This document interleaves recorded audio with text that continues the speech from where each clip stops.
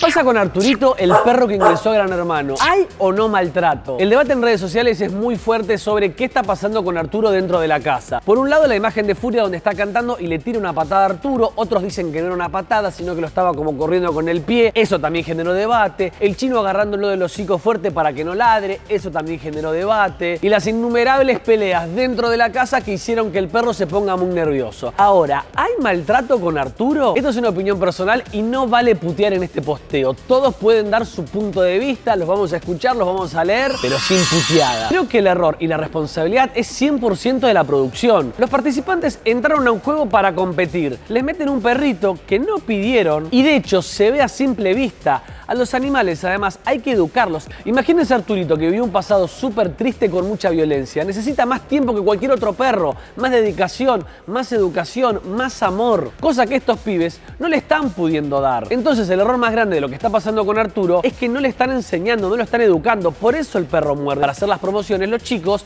muchas veces tienen que jugar medio brutos. Y Arturito, en ese momento, se pone muy nervioso y los quiere morder. Entonces, por eso coincido con las chicas de Huellitas Perdidas, la fundación que rescató a Arturito, que están pidiendo desesperadas que le entreguen a Arturo, que lo devuelvan, que lo saquen de la casa. Vos, ¿qué opinás? ¿Lo están maltratando a Arturito? ¿Tiene que salir de la casa o lo ves bien donde está?